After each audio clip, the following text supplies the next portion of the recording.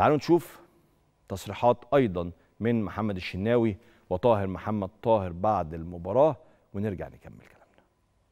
صراحة إحنا لعبنا شوط أول أكتر ممتاز زي ما حضرتك بتقول ماتش الشوط الثاني برضو ضيعنا فرص كتير. ده كانت ضربة الجزاء هو يعني ضربة الجزاء آه، هي نقطة التحول للمباراة. بس آه، اللعيبة النهارده بعد الجون آه، استعجلوا شوية وكنا عايزين نتعادل. آه، بس الحمد لله أنا بقول لهم أنتوا أديتوا مباراة كويسة النهارده ويعني بصراحة بنلعب فرقة كبيرة بتلعب كرة على الأرض آه، كويس جدا. بقول لهم hard luck وبقول للجمهور اللي جه النهارده آه، ما نزعلش إن شاء الله اللي جاي أحسن آه، خلاص الماتش خلص.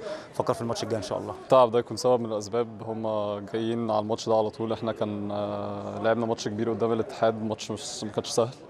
دي ممكن تبقى سبب من الأسباب يعني بس آه، مش هنخلق أعذار خلاص اللي حصل حصل والماتش خلص ومفروض نركز بقى دلوقتي في الماتش الجاي إن شاء الله. يعني آه، راضيين بالمستوى طبعا يعني آه، دي ماتشات كبيرة بس إحنا ما كانش ده هدفنا يعني. إحنا هدفنا كان أكبر من كده بكتير. كان نفسنا نلعب نهائي الجيل ده عمل حاجات كويسة جدا. كان ناقصه بس إن إحنا نلعب نهائي. ويعني ما حالفناش الحظ يعني. حزن طبعا حزن كبير جدا. بالمناسبة طاهر لما اشترك في المباراة أدى بشكل كويس وعمل أداء وروح يعني كان في حماس كبير منه بصراحة في الدقائق القليلة اللي لعبها يعني. بس طبعا الأهلي بعد الجول وهرجع تاني لنقطة صفر يعني. ومستوى خد بالك النهارده تحس فلومانينزي مش مستواه فريق عادي يعني. بس في ثقة. أنا أنا فريق برازيلي. أنا واخد كأس ليبرتادوريس. أنا عندي لعيبة ممكن تخلص في أي وقت. الثقة دي التقل ده ببقى نفسي أشوفه في فرقنا المصرية في أو حتى المنتخبات لما نيجي نلعب في ال level ده. إحنا دايما مخضوضين ودايما خايفين ودايما قلقانين ودايما ما عندناش ثقه لما بنلعب في ال level ده.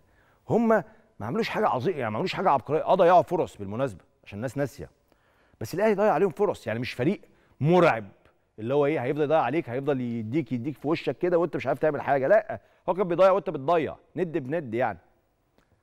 بس في تفاصيل صغيرة تحس إن هو يعني أنا كده كده جامد. أنا كده كده هخلص في أي وقت. محتاجين وقت ومحتاجين شغل. بس نشتغل نشتغل. ومشكلتنا دايما بقولها الاحتكاكات. إحنا ما بنحتكش بفرق جامدة. بتكلم الفرق المصريه والمنتخبات المصرية بالمناسبة. ما بتحتكش. ما عندكش احتكاكات على الليفل ده. عندك هو بيحتك بفرق كبيرة جدا وعظيمة جدا. ونفس ده لسه مخلص final. كوبا ليبرتادوريس مع بوكا جونيورز أحد أهم فرق أمريكا الجنوبية والأرجنتين.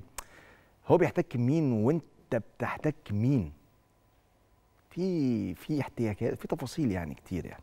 واللعيبة نوعية اللعيبة اللي أنت بتجيبها كمان تحديدا للاجانب عشان تاني أنا ضد التقليل من لاعبي النادي الأهلي عشان بس خسروا النهارده. المنطق بالمناسبة بالمناسبة المنطق إن بطل أمريكا الجنوبية يكسب بطل أفريقيا مهما كان.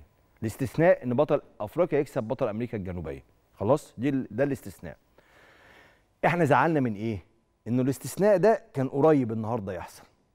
يعني الأهلي ما لعبش مباراة سيئة فتقول إيه؟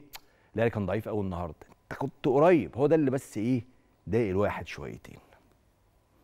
خيرها في غيرها بالمناسبة يعني. الأهلي عنده مباراة تحديد للمركز الثالث ياخد برونزية جديدة وده مهم بالنسبة لنا جدا. اوعوا تستهونوا حتى لو الأهلي خدها قبل كده كتير ياخدها مرة كمان.